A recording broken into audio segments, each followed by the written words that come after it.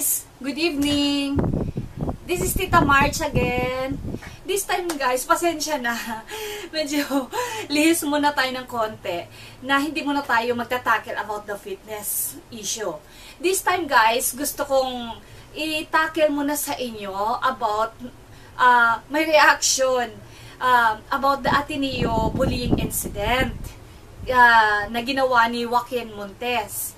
Ngayon guys, uh, actually, hindi ko na sana, hindi na sana ako sasali sa usaping ito. Kasi naririnig ko sa mga friends ko, sa anak ko, uh, about this issue. Pero actually, hindi ko pa siya talaga totally na panood. So, meron lang akong mga usap-usapan na sa mga kaibigan ko na, uy, ganito, alam mo, yung mga kapwa mami ko, may mga reaction sila. So, sabi nila, so, please allow me guys to tell you, to share to you my reactions uh, regarding this incident. So, for now guys, let's watch the video, right? Okay, hold on.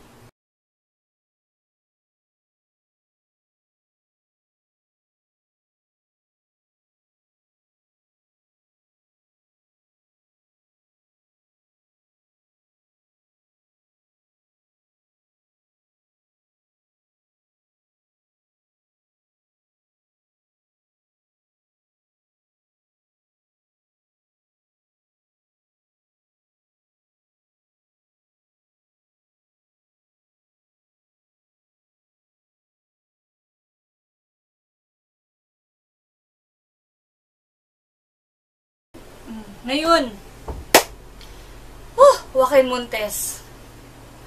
Bakit ka ganyan? My God, hindi ko maintindihan. Bakit ka nagkakaganyan? Alam nyo guys, nakakapanggigil, ba? Kasi kung ako ang nanay nung binugbog niya, binuli niya, ay hindi ko rin alam eh kung makakapagtimpi ako. Wala kang karapatan eh wala kang karapatan manakit sa kapwa mo eh. Alam mo yun? Ang bata mo pa, bakit ganun ba? Hmm, nagigigil ako sa'yo. Ewan ko ba? Ewan ko ba? Parang may nangyayari pa palang ganun. And to think, marami tayong nababasa na anti-bullying, bullying is not good, ganun-ganun pa. Pero, parang super shocking. Parang shocking lang sa akin kasi naakala ko na aware na lahat ng kabataan sa ganitong mga bagay na hindi ito maganda uh, alam niyo naman guys, ang, ang bullying is not really good sa bawat tao, sa bawat bata, kahit kanino pa, hindi yun nakaka, hindi yun, walang magandang idudulot yun sa, sa tao. Lalo na, na sa mga kabataan. Nagmamarka kasi yan.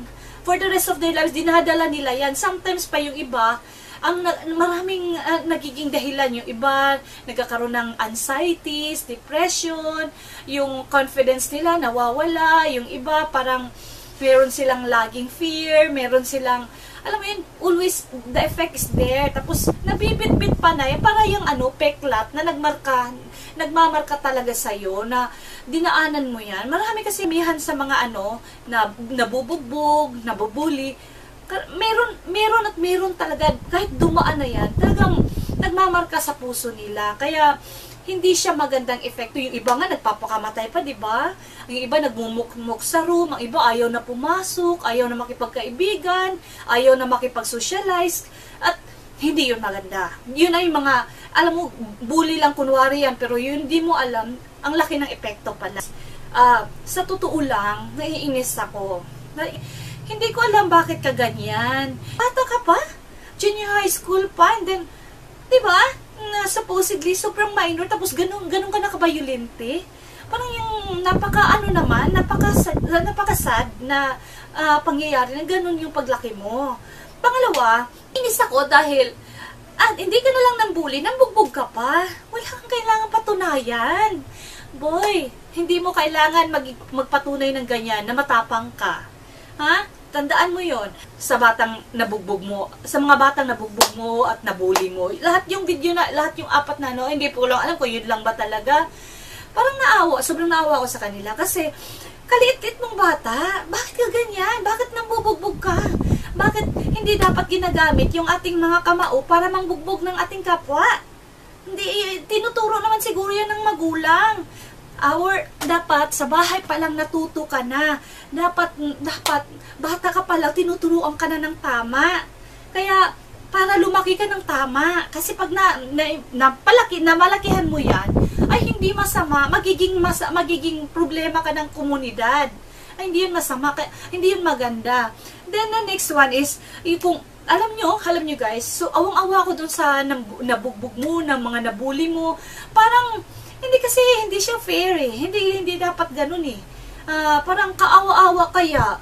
Kung ako, at saka, kung ako ang magulang ng mga nabugbog mo o nabully mo, ay nako, wakin muntis. Hindi kita ka, hindi, kahit saan ka, siguradong hahanapin kita at susugurin kita kasi hindi ko kaya. Ako bilang nanay, hindi ko kaya ang ginaganyan ng anak ko. Kasi agad-agad hindi mo ako ma, hindi mo ako masisisi. Dahil normal eh, reaction ko. Sino ka ba? Ha? Para bugbugin mong anak ko. Ay nako, walang ini, ini reasons na matatanggap ko para bugbugin mo siya. If you have may problema ka sa kanya, kausapin mo siya, punta kay sa guidance, mag-usap kayo, o patawag mo yung magulang, go! That's it. Pero yung tipong bugbugin mo, ay nako, sobrang, uh, ano yun, Paul yun para sa akin. Gets mo? You guys, nasa atin, nasa atin mga magulang, ang, ang, ang responsibilidad kung paano palakihin kasi the first lesson must learn at home. Doon dapat natutunan yan sa bahay natin. Kaya tayo, mga magulang, tayo ang unang magtuturo ng tama at mali sa ating mga anak. Nakadepende yan sa iyong pagpapalaki. The next one, sa school naman. Hindi lang dapat nakafocus ang eskwelahan sa academics, sa kanilang mga sports activities. Hindi lang doon nakafocus, kundi meron din dapat kayo always na moral development sa inyong mga estudyante. Nagbe-base sa bahay yung natutunan ng mga bata, doon din sa school. Kaya dapat tulungan ang magulang at ang school. Okay? And ngayon naman, proceed tayo dun sa mapapayo ko. Ang mapapayo ko doon kay Joaquin Montes, unang-una, wag na wag ka na ulit mambugbog, mambuli ng mga kahit na sino. Never mo. At saka, matuto ka from this experience. In other words, learn a lesson from this experience. Okay? Tapos, humingi ka ng tawad sa, na, sa lahat mga nabuli mo at sa na, mga nabugbog mo, pati sa kanilang mga magulang at mangako kang hinding-hindi mo na ulit gagawin. Whole heart. Kailangan bukal sa puso at totoong totoo. Kasi, yun lang yun ang makaka, kahit papano relief yun sa, sa sarili mo. Hindi na lang para sa kanila, para na rin sa sarili mo. Mapapatawarin mo yung sarili mo ng ganyan. And then, humingi ka ng ano, kinig ka sa magulang, sumunod ka sa magulang, makinig ka lang, well, uh, promise, hindi ka mapapariwara. And then, and then, ang masasabi ko, uh, yung about sa nangyari doon, you cannot, ang ma, ito isa ko, ko, parang quote ko lang to, you cannot change the mistakes you made in the past. But, you can use that experience to make your future, your actions, and your decisions in a right manner. Hindi ka magkakamali kapag ka uh, uh, matuto ka doon sa nangyaring yon. And then, mag-move on ka, magdasal ka. Oh, be with your family. Change. Hindi pa huli ang lahat. Alam mo yon. Hindi pa huli bata ka pa. Pwedeng pwede pang magbago. Kahit sino pwedeng magbago. At saka ang mapapayo ko doon sa mga magulang, ako ay magulang din. Hindi tayo perfecto, right? Pero dapat, nandun tayo all of the, all the time to guide our children, to teach our children, to discipline our children. Ako, nandi-disiplina talaga ako sa anak ko.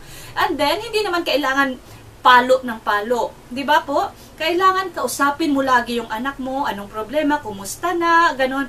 At saka, kahit ano pa man ang mali ng ating anak, ay tayo pa rin ang nasisisi doon. Wala talagang ano doon, exception walang ini uh, uh, ini reasons na kumbaga hindi tayo ano ka dahil busy whatever hindi yung dahilan kasi it is our main responsibility hindi lang basta tayo nagpo-provide ng kanilang basic needs importante din yung guidance right so ganito. Bawat tao meron talagang kakulangan, meron talagang mga pagkakamali.